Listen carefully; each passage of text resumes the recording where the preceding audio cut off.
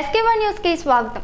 నెల్లూరు జిల్లా ఆత్మకూరులో అక్రమంగా కర్ణాటక మద్యం తరలిస్తున్న ఇద్దరు వ్యక్తులను ఎస్ఈబి అధికారులు పట్టుకున్నారు. అక్రమ మద్యం తరలిస్తున్నారన్న సమాచారంతో కాపు కాసి పట్టణ శివార్లోని పట్టేపాడు రోడ్డు వద్ద బైక్లో వెళ్తున్న ఇద్దరిని అదుపులోకి తీసుకున్నారు.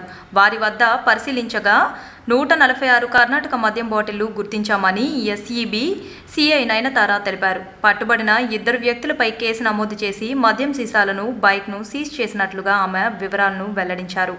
ఊరు పట్టణానికి సంబంధించిన ఇద్దరు వ్యక్తులు బెంగళూరు పరిసర ప్రాంతాల నుంచి కర్ణాటక మద్యాన్ని తీసుకొచ్చి ఇక్కడ విక్రయిస్తున్నారు. వాళ్ళు మద్యాన్ని తీసుకెళ్తూ ఉంటే మేము పట్టుకున్నాము. అయితే ఇది వచ్చేసి అక్కడ మీకు అరవై రెండు డెబ్బై రూపాయల దాకా ఉంటుంది. ఇక్కడ వచ్చేసి వాళ్ళు నూట యాభై రూపాయలు అమ్ముతున్నట్టుగా వాళ్ళు తెలియజేశారు. నూట యాభై రూపాయలు కొనుక్కున్న వాళ్ళు దానికి మళ్ళీ ఇంకొంత ఎక్కువ వేసి అమ్ముకోవడం అట్లా జరుగుతూ ఉంటుంది.